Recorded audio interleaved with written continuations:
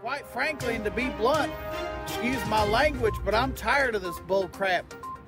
And I think the rest of the country is too. We need to op- open it up.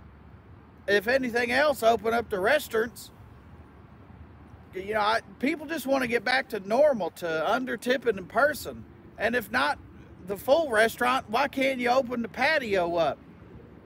What's the point of owning a Carhartt if you can't eat poppers on the patio? Yes, yes, we have done to-go orders a, a few times, but it's it just ain't the same.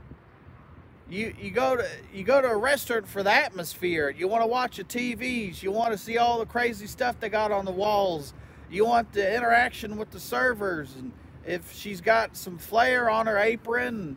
And you like the music to be loud so you don't have to talk to your family. And we're happy to wear a mask, don't get me wrong, except for when you walk in the door and when you sit down and order and you eat, you sit and chit chat for a couple hours, drink some coffee, and then you get up and you walk to the door. Uh, other than that, we're happy to wear a mask. We're happy to do our part. I, I do I do enjoy a good fried chicken every now and then. I like peach cobbler. I probably have to say my favorite vegetables, mac and cheese. I'm just like everybody else. I want to get back to normal. I want to get back to living. And I want to support local businesses because I know we're all hurting right now. It's just hard when they won't uh, let a local business even be open.